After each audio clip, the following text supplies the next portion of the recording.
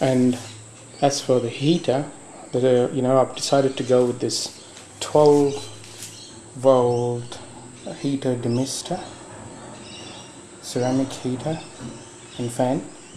Um, I just think this is going to be a lot safer. This will just sit on the dash of the car.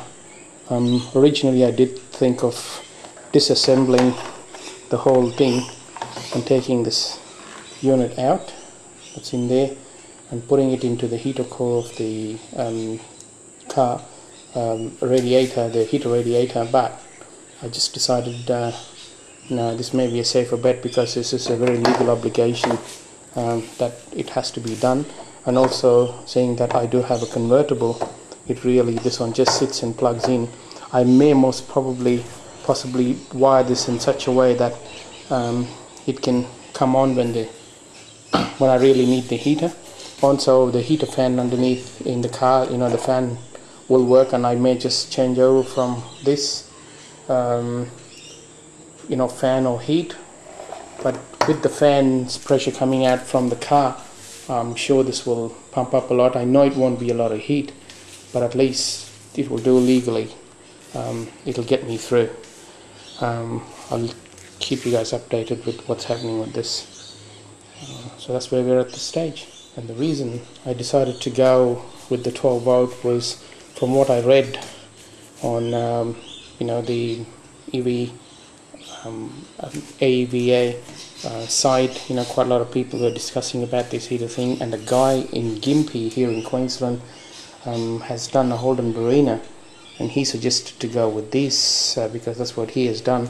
Although his is a different model to what I've got here uh, this sounds to be um, to me at this stage a very safe bet rather than go through and get the 144 volts DC coming into the cabin. Um, just out of safety I suppose. Um, and since I'm not very highly um, savvy with um, you know well, electrics just to keep it simple so it is duplicatable by anybody. The next job that I have pulled all this dash apart is to put it all back in. Um, what a waste. I mean I should have thought about this earlier. Um, but however hey you know it's all experience. Um, I'll put it back in. And um, yeah, that wiring over there that's the computer I'm not pretty well, I'm, not, I'm not good with. The 12 volt wiring so I'll have to get an electrician to come and fiddle that. But in the meantime I'll just plug them all back the way they came out uh, just to keep it easy and simple.